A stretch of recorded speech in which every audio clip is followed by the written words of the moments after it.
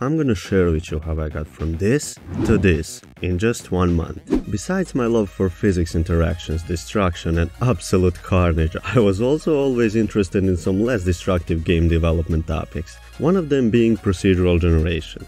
What a better way to get into procedural generation than to throw your old project away and start with a new one right? I first started by generating a texture using the one and only Perlin noise.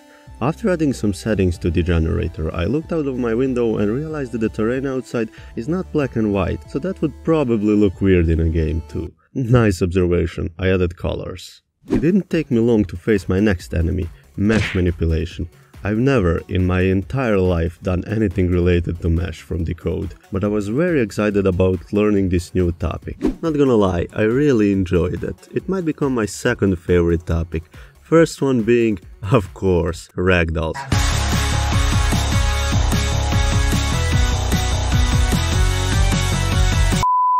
More on that later in the video. So after creating the terrain, I needed a way to control what happens on which part of the terrain.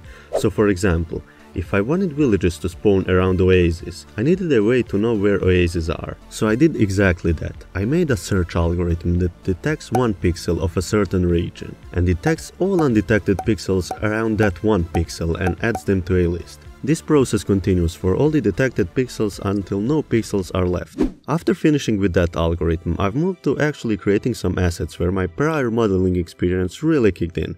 I'm really proud of how these have turned out. Now our hero can enjoy the sun and interact with the environment.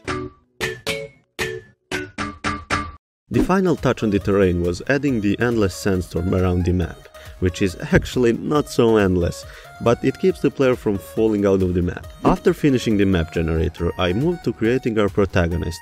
First I took my time to draw a concept art of how I wanted him to look and then I moved to the actual modeling.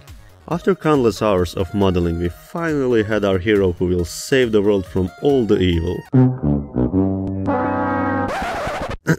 Maybe not, but you must admit that he looks cool. I was going for a combination of a biker and a mercenary with a slight touch of the hero vibe. Let me know what you think about him down in the comments. I doubt that our hero will be able to save the world by just standing in a T-pose, so I decided to make a character controller. I made the basic movement which, in my opinion, feels very smooth. Additionally, I've added crouching, jumping, aiming, and of course, ragdolls. Who doesn't like ragdolls? One last feature to the character controller was the first person mode, which I've never done in any game. This is my first shot at first person and I think it works so or so well, but I'm really not sure what to think about the ragdoll mode in first person. Do I let the character stay in first person or do I switch to the third person during the ragdoll? The main reason is that it can be very nauseating to be in first person with all that shaking going on. Like always, I'm sharing the roadmap of the game with you. We have cleared these three features and the next devlog will revolve around realistic injury reactions. Subscribe and join on the journey where we clear the entire roadmap step by step. You probably think that I forgot about Polycalypse. Of course not. You can check out what has happened to my previous project by watching this video here, if you haven't already. In that case, you can play it for free by following the link in the description. Thank you so much for watching guys. See you soon in the next video. Bye.